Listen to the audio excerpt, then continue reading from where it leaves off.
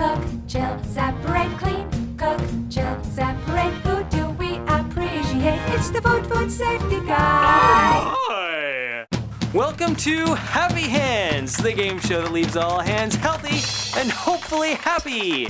I'm your host, the Food Safety Guy. Oh my! Hands spread 80% of germs. It's proven that people who wash their hands more often get less sick. So, on today's show, our three contestants will be washing their happy hands.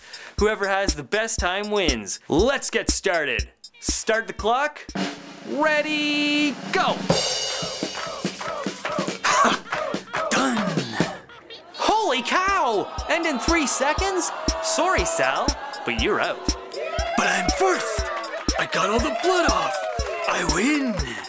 Sal, you wet your hands, but you didn't even have any soap on them! You might as well have given the bacteria a big glass of water! And now they're even stronger than ever before! I'm sorry, Sal, but you're out. No!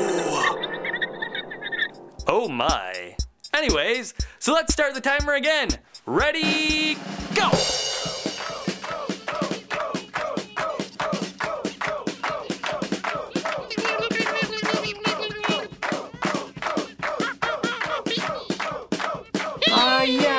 Actually a germ, so you can never get clean. You're out too. And that means that Henry here is the winner! Now let's see a replay of his amazing victory. He starts by wetting his hands and uses soap. Then he lathers. He moves on to rinsing and does so thoroughly. And he finishes it off with drying. Fabulously done. 10 out of 10. And final thoughts. If you don't have a sink, no problem. Use a dime-sized amount of hand sanitizer on your skin and rub it until your hands are dry. Oh, and that's all our time, folks. But remember to wash your hands more often than you do now, so you too can have happy hands. Yay! Oh my.